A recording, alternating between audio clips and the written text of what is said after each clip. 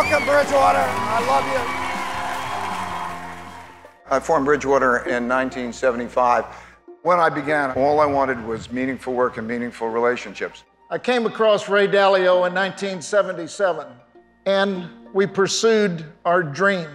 I was part of the generation at the very beginning when we crashed.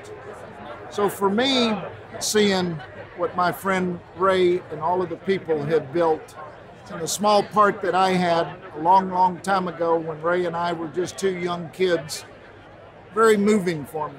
And we got to know all these money managers, and Ray started asking the question. He said, You know, we're, we're telling all these people how to manage money. Why can't we do this ourselves? And one thing led to another, and you know, our first client was the World Bank in the mid 1980s.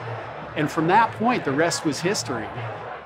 And can you imagine that the World Bank give us $5 million to manage? This is our ragtag group. They give us $5 million to manage.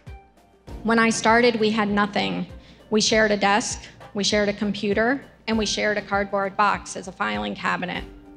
We got a call from the US Treasury to come down to Washington and talk to them about inflation index bonds. We were five minutes late and they had locked the doors. And Ray just walks up and starts banging on the door. For me, this story still resonates um, as a kind of analogy for how we had to do things back then was sort of barge our way into things.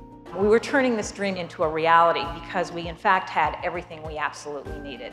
We had a small group of people who had a commitment and a passion just to do the right thing. When I got here, there were about 650 people, so maybe a third of what we have today. You could see the old Bridgewater was still a little bit there. It's kind of really growing from a small company to a larger company.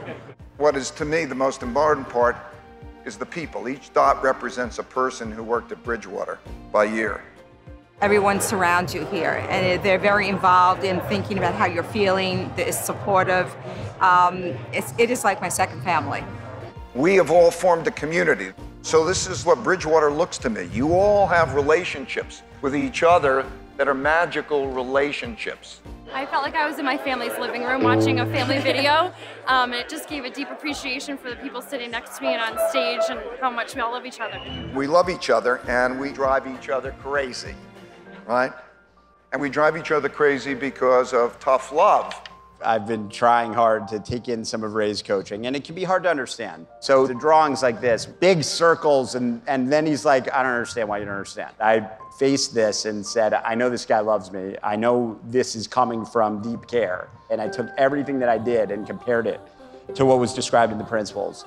And I started to see the gift that he was really giving. I used to work on Wall Street where people were not honest with me.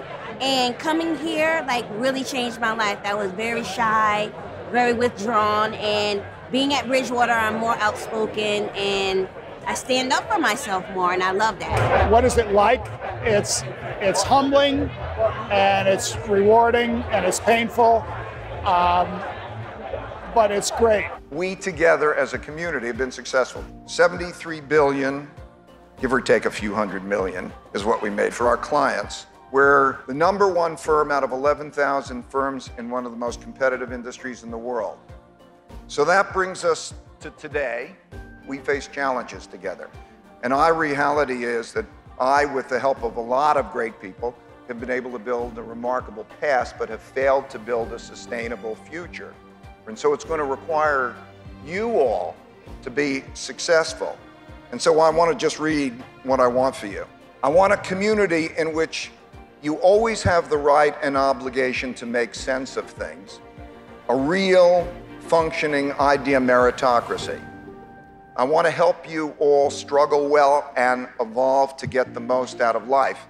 But above all else, I want the great humanity that is Bridgewater.